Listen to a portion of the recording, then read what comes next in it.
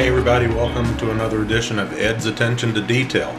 This one goes quite a bit off the beaten path, but it does kind of follow my attention to detail slogan. So, going into the store the other day, looking at some juice on the shelf, and I was quite amazed at what we found.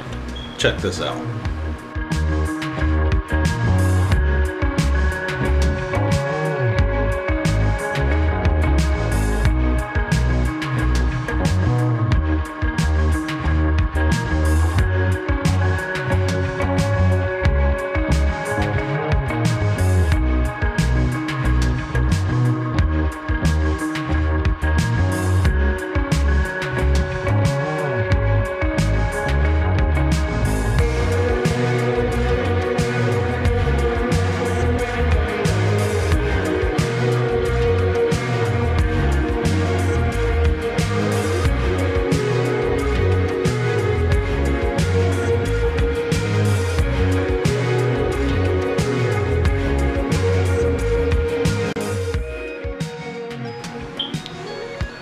See?